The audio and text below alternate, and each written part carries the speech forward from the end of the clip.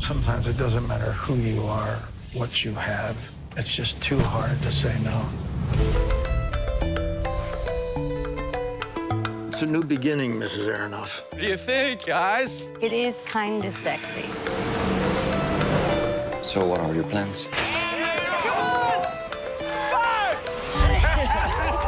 Like usual, to win. I'm Ben Aronoff. Keep the throttle down! I was in love. The speed, the rush. Yeah! I'm gonna win the world championship at the end of this month. You can't say Miami without saying Ben Aronoff. And this lovely creature is Emily Coleman. My pleasure. You know anything about Emily Gowan? Besides the fact that she's King Hussein's girlfriend? Just get me the number, will you? Mr. Lance, Your father, he'd be proud of you selling to that hoity-toity crowd.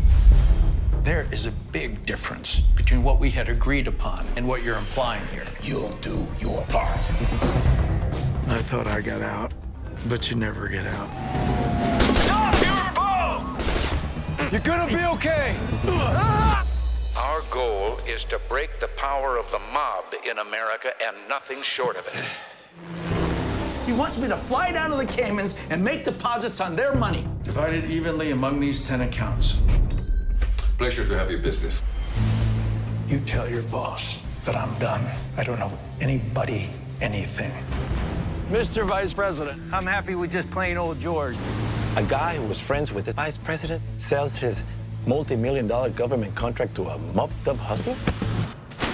It's just business. I make boats, fast boats. People want them. Do you go to Smith & Wesson every time you haul someone in with a gun?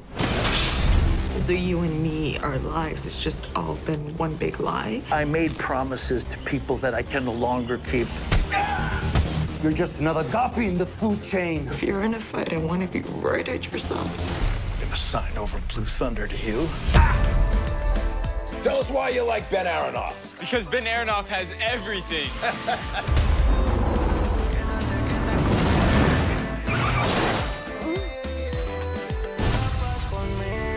If you're not going to arrest me, you have a nice day.